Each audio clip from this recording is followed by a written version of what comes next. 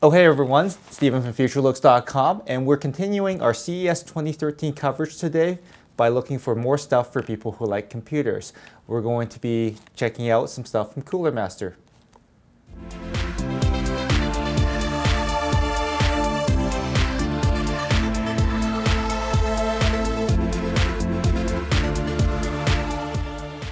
One of the products here uh, that Jonathan is going to take us through is showing off a more elegant side of Cooler Master. What's this product all about here, Jonathan? Well, this is the ATCS 710.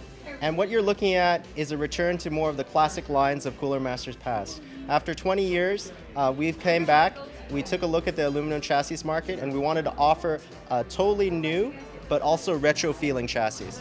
What we've done is we kept the same construction values of the original ATCS, the same very thick aluminum construction, but we've added new features, including extreme water cooling support up there, that's an Eisberg 240L. And on the inside, we have fully modular hard drive base. And on the very front, to make it easier to clean, we actually have removable dust filters that pop out just like so. Now what about the pricing and availability of this new chassis? Well, this new chassis, we don't have exact dates, but we can say that it'll be available sometime in quarter three, quarter four.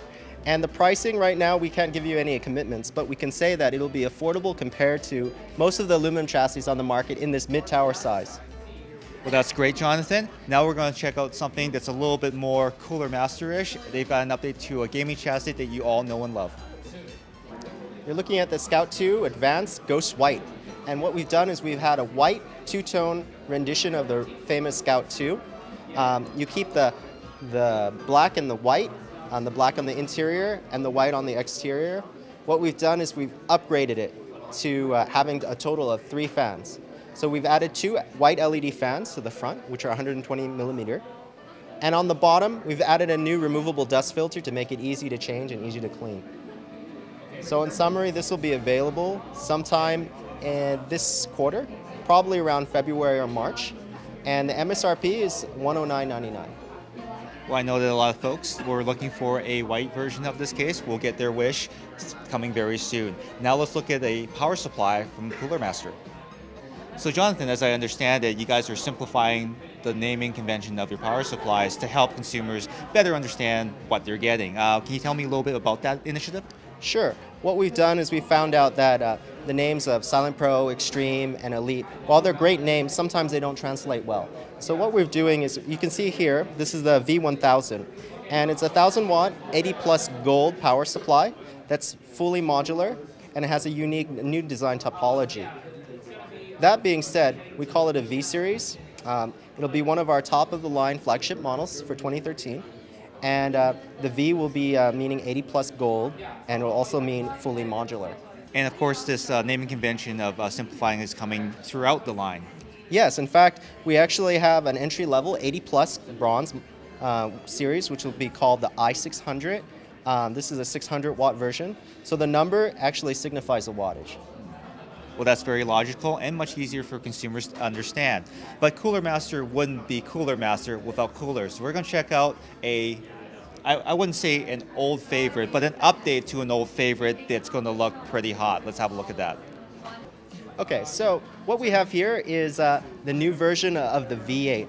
V8 is an old friend and it's been around since 2008. But what we've done is we've upgraded the V8 to double 140 millimeter fans. It still has eight heat pipes, but what we've done on the base is we changed the base to a unique Cooler Master technology. What you're looking at is a flat vapor chamber. This ensures very, very even and quick heat transfer to all the eight heat pipes. On the top, these fans will be LED controlled, and you can see that it continues to have the automotive-inspired engine look heritage. Now, when will fans of the original V8 be able to pick up and upgrade to the new V8? Uh, sometime in quarter two or quarter three, and the pricing right now should be under $100. The CM Storm line is known for gaming peripherals and a few cases. They're also very awesome. Uh, I'm here with Carter, and he's going to show off a couple of new keyboards for us, uh, one of which is actually very unique. What can you tell me about this one? Uh, well, this is actually our stealth edition of our beloved Quickfire Rapid, which a lot of people are very familiar with. This is the standard edition Rapid here uh, that actually has the top printed keycaps, the very outlook, the new outlook with the uh, the less logo edition. So we removed some of the logo, stripped it down a little bit, um, but we wanted to create even more of an elegant look on this particular board, something pretty unique, which is our stealth model. It's the front printed keycaps, so it's going to give it a really unique look. You can actually still see what letters your you know your fingers are positioned on, but it, when you look at the board from the actual uh, top side, you actually see nothing. So it's a really really unique look. It gives the gaming keyboard itself uh, a professional look, so it doesn't have to be just used in the gaming field. You can actually use this in a professional setting, even be uh, you know per se at a work in a workplace environment. Another feature that we added to it from the original Rapid is you can actually change the repeat rate uh, toggle through F1 through F4 here uh, over PS2. So you're going to get the in key rollover over PS2, plus you can actually toggle the repeat rate itself. Uh, one other feature that you're going to see outside of our normal Rapid is all the casings are going to be black instead of the standard silver that you saw in the original model. So you're going to have an entirely black casing, the front printed keycaps, which give it that elegant style and that look um, plus the addition of the repeat rate as well added in.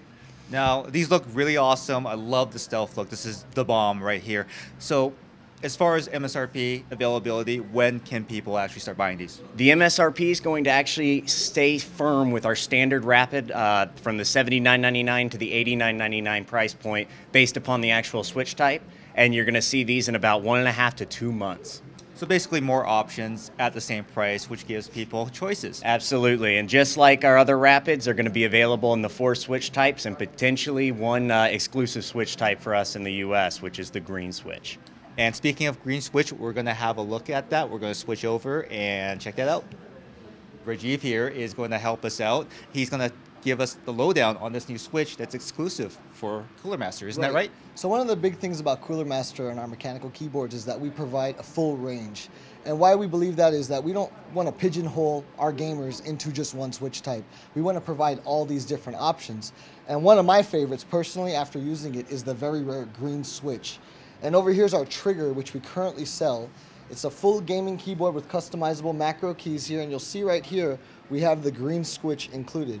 And the unique feature of the green switch is that it has that tactile clicky feel of the blues, which is a staple of mechanical keyboards, but it has a bit more resistance. This is something that you normally find used on the space bars for a lot of mechanical keyboards. We brought it to the full switch line. Uh, once you get a feel for it, you can't go back. I, I just, I, I fell in love with these right from the get-go. So for the green switches, Great, great feel. We do sell this. That's what we're using CES as a kind of a launching point to bring it out to a wider range using Cooler Master's distribution channels. So, you know, definitely users that want to try it out, they should be seeing it very soon. So we'll see this in a number of keyboards as they start rolling out, absolutely, right? Absolutely, absolutely. And again, going along with the theme of, you know, full customization and, and just fitting the, the part to you, we also have our aluminum series. On our headsets, these plates here can actually be removed with a special tool and you can customize it if you're a gaming team, if you, if you want to represent your crew, that's all being able to done through these uh, you know, removable panels. Also the microphone, if you want a more professional look, DJs that want to use this, uh, you know, videographers, you guys can all take advantage of this stuff and not, you know, uh, fit, fit your style, fit your needs. And this is actually our aluminum keyboard. It's very similar to the trigger, but again, as I mentioned, it has that removable plate. So once you remove these off, customize it as you will. It has a USB 3.0 hub in the back, audio pass-through. Uh, the trigger customizable keys are here as well, and we'll have a fully customizable software, again, to fit the needs and desires of gamers. And to round it out, we also have the mouse and aluminum mouse pad here as well. So this mouse, uh, mouse will have the extra fire button here, which you can fully uh, uh, customize. And also this piece as well that can be removable.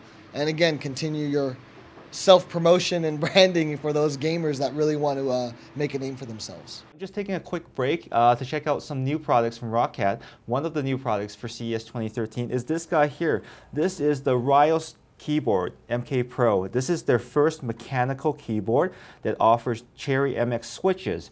They come in the black, the red, the brown, and the blue. So depending on what your personal preferences are, you can have that capability of choosing the right key for your purposes. Uh, a couple of features that I wanted to point out is the fact that it does have USB ports on the side for your mouse or maybe even charging your phone, something like that. Uh, a braided cable for durability. And on the other side here, you'll see that there is a headphone and mic jack on the side. But one of the really cool things about this keyboard is the fact that this has something called per key lighting. Now what that means is that each individual key here has its own light source. So if I press this key, it's not going to light the other ones. If I press this key, you can kind of see that this is one of the uh, neat things that this keyboard can do. Um, so that gives you the ability to kind of do key bindings. So if you have certain key bindings, they will light only those keys up so you know which keys to press. Uh, the other thing that you can also do more commonly, people use the WASD keys and these are normally different colors on other keyboards. This one here, you can just light those up. Uh, then you know where the WASD keys are while keeping all the rest of the keys unlit so it doesn't bother you in gaming situations. Or if you want to be bothered, you can even invert them too. Uh, the other really neat feature of this keyboard is the fact that it's using a new microdot style uh, finish. This microdot surface here is fingerprint resistant. Uh, as you can see here, I'm touching it, no problems there, and it keeps clean very easily. Uh, the retail price of this particular keyboard is in the neighborhood of $150. This should be available hopefully by the end of Q1. And now we're going to take you to our next company, which is Kingston Technology. Hi, I'm Annie with Kingston Technology. Today at our CES booth, we're showing off our newest product. This is the HyperX 10th Anniversary Edition memory. It comes in this uh, very stylish silver heat spreader, as you can see, with diamond cutting crisscross. And it's the only silver heat spreader uh, color that's available right now in the market. MSRP right now ranges from $25 all the way up to $100, with uh, specs from uh, 8 gigs up to 32 gigs and speeds reaching up to 2400 megahertz. Hi, I'm Danny from Kingston. I'm here today to talk to you about the HyperX Predator 3.0. It's our new USB 3.0 drive coming in 512 gigabyte and one terabyte. It's got a lot of space on it, um, of course. Um, it has a matte finish case that's retractable to protect the USB connector. Uh, it's a very solid drive, has a, a, a keychain that we uh, designed to make sure that it was durable enough to handle uh, any kind of uh, keychain moving around, throwing your keys on the ground to make sure that doesn't fall off. Because if you lose this thing, you're going to be very upset. The drive is available at Amazon right now in 512. The one terabyte comes out later in Q1. Um, the price for the 512 right now is a little under $900, um, but I would check your local e-tailer or retail because the price will fluctuate. And the next drive I have is the DT Ultimate 3.0 G3. It's our cousin drive to the uh, Predator. We released this in 32 gigabyte and 64 gigabyte capacities. It's got the same design. It's a lot smaller and sleeker. It's got a metal casing. It's not matte finished the same way, but it still is a solid drive. Or the USB connector, we made it retractable. It's got a keychain, uh, the same design as the uh, Predator to make sure that it stays on your keychain and you don't lose it. Price is uh, 32 gigabytes is about uh, about $35. A 64 gigabyte is un, under like 50 bucks. Uh, but check your local retailer to get the exact pricing. One company that we haven't touched base with in a little while is Zalman, so that's why we're over here. Zalman is showing off a really cool product here that I'm kind of excited about. This is called the CI Cooler, CI Water CPU Cooler. CI stands for Closed Loop Integrated, and they've done something really different to the whole closed loop integrated cooling solutions because everything kind of looks the same out there. What they've done instead of the square radiator is they've employed some of their technology from their radial round fans that you're also familiar with like the CNPS 9000, the copper fans. And this actually uses two uh, loops of copper and also a heat pipe in here that dissipates heat from the pump here. It's a fully enclosed unit with liquid cooling and it dissipates up to 400 watts of uh, capacity, which is more than overkill for most applications, but that just says that you're ready for overclocking with this device as well too. Uh, if that's not enough cooling capacity, you can also mount a fan on the back for a push-pull configuration right here. So you can see the coils again, there's the power connector. It's a very clean design, very elegant looking. Uh, when it's on operating, it glows blue. In fact, it's so impressive that they've actually won the CES Innovation Award for this particular product. Now, what I'm most excited about is, of course, the pricing. It retails for $109.99. and they're expecting to put it out by the end of Q1. And now we're going to check in with another really great company. Gigabyte is at CES 2013, and we're going to go check in with Colin over there. It's always great to see you, Stephen. I always enjoy when you come to visit us. We do have fun. Yeah, we do. Um, so this board, actually, we've been selling for a couple of months now. This, we have three boards that are Thunderbolt-related motherboards. We've got dual Thunderbolt ports on board. Um, we're unique in the industry to have that. And that allows us to do things like 4K display. So as you'll see this demo over here, we're actually running a 4K display on a new driver from Intel called their Collage driver. Basically, this allows you to use four normal monitors, um, set them up in collage mode, and then um, use a 4K display. Maybe for things like you know stock trading or medical or even signage, digital signage. Um, the advantage of our solution is that actually, you know, our dual Thunderbolt ports, you can output it'll with a splitter you can actually split it into two HDMI signals and, and power each of those monitors or signal each of those monitors. Um, so that allows people to not have to use a, a, a graphics card because this is being powered by Intel's integrated graphics with the Core i3 or i5 or i7. Um, so that you know that's kind of an advantage because you don't have to pay that extra money for that that uh, video card, and your profile is going to be low as well because you don't have that extra the height issue. And you don't have to pay for the 4K display because they're really Yeah. expensive, aren't they? Yeah, very expensive. That's fantastic. Uh, what else can you tell us about that? So, uh, you know, another cool thing about that is actually, you know, for, for this system, Intel is going to be uh, giving us the driver later this month. We're going to implement it into our BIOS, um, and it's going to be automatically enabled for people when they upgrade their BIOS. So they're going to get an extra feature on their motherboard that they've maybe had for a couple months already. So if you want to do this, you can actually do both the collage mode and also the, the, um, the do four monitors in a row as well, depending Nice. on how you want to do your setup. So free stuff from Gigabyte in a uh, BIOS slash driver upgrade. Um, low cost 4K because you can use four new monitors that maybe you got at Walmart or Black Friday for $99 each. and um, something new that you can do with your board that you didn't think was possible before. That's really cool. Now speaking of different things and new things, uh, Colin's going to show us something different that Gigabyte does with uh, Mini ITX. Okay, so um, we're showing off our new Thin Mini ITX motherboards. This is a new form factor for us. Um, thin Mini ITX means all low profile. This is actually a standard developed by Intel. These, you know, a lot of these specs are um, given to us by Intel in terms of CPU placement and, and slot placement. Um, what this allows us to do is do an all-in-one business market. So we have different chassis available on the market where you can actually build your own all-in-one. Um, this chassis that we have in front of us here is from Mytech. Um, it's a pretty cool chassis. It's uh, touch enabled. Um, so it works with our motherboard. I'm going to flip around this to show you. It's super easy to actually build your own all-in-one. As you can see here, the motherboard slots in. Um, all of these are standard size and, and slot uh, arrangement is all standardized. So no matter what chassis you use, it'll actually work with our motherboard. So this has a back panel, obviously, that covers this. It's two screws. You remove it, and then you can make a lot of changes. You know, add a hard drive if you want. But some of the unique features of this motherboard, we got SODIMM uh, memory, so it's low profile. Um, we also have two different power inputs, so you can use a power brick as well as your traditional power, uh, a small power supply.